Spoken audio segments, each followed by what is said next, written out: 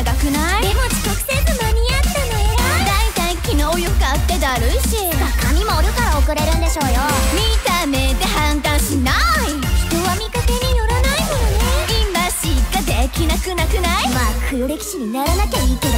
日がな一日縁も平地ネイル割れた化粧が乗らない？いちいちリアクションでかすぎだし。少な？い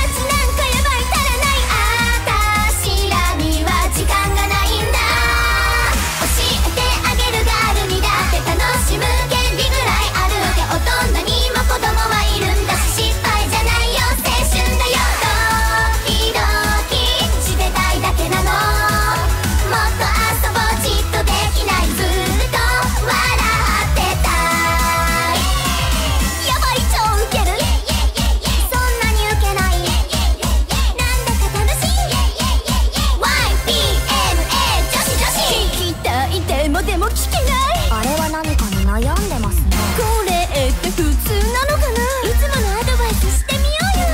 ね女の子ってあれなの男の子の方があれだよマジマジやっぱそうなんだほんとよ。く会話になるよね気まぐれた日々は幸運流水。巻きが取れたラインがにじむ。雨